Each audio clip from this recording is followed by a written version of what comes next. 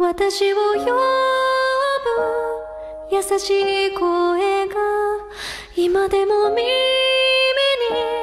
残っている。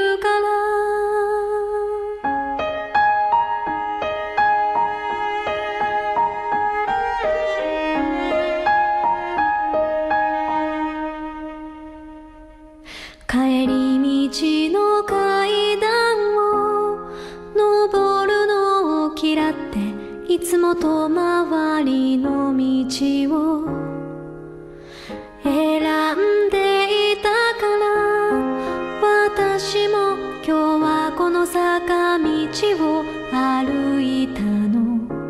忘れるまでは辛い。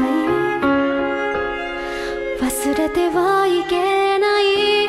私の大切な人。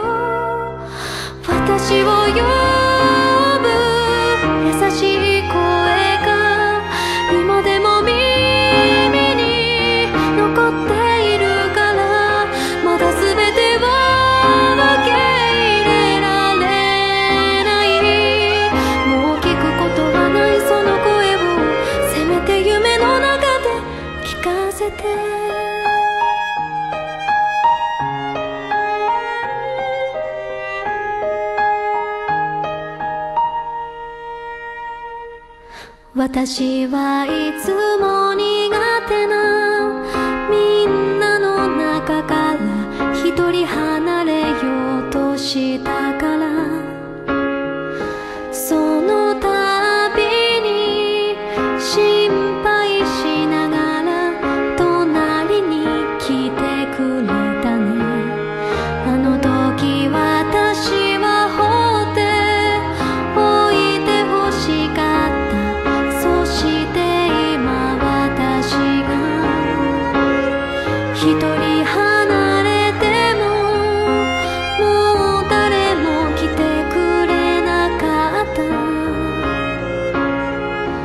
それでよかったけどね。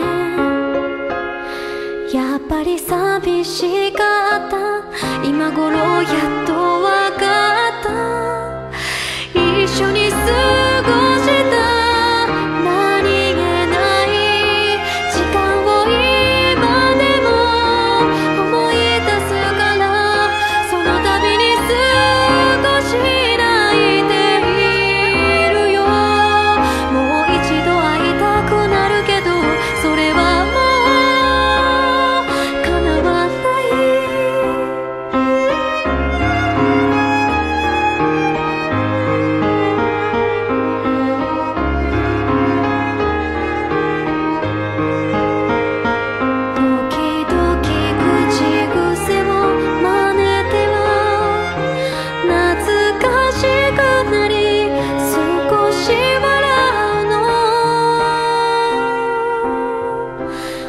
私を呼ぶ優しい声が今でも耳に